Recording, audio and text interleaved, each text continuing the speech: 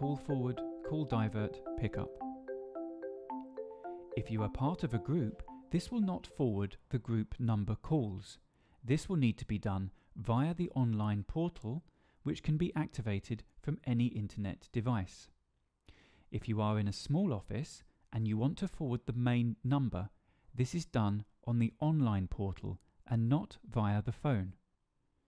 The forward on the phone will only forward your direct extension calls. Once you have programmed a number to forward to, just one press of the transfer key will enable call forwarding. To change the programmed number on the handset, press the menu soft key. Select Features or press 2. Select Call Forward or press 1. Select option 1 and enter.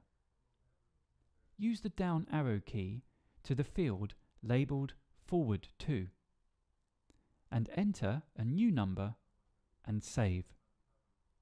To remove a call forward, just press the dedicated transfer key and the screen icon will disappear.